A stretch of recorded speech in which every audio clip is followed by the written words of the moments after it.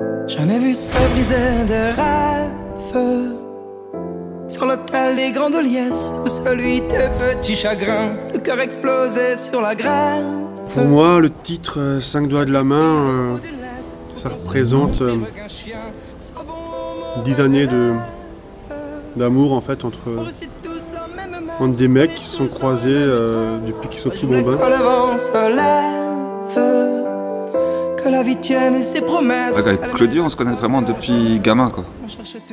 On est les cinq doigts de la main. Voilà, on a fait tous dessus. J'ai envie de dire ça c'est moi parce qu'il est un peu plus gros.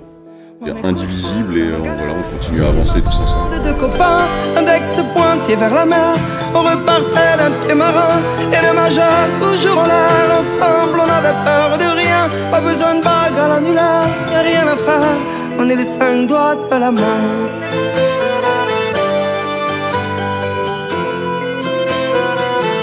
On est les cinq doigts de la main.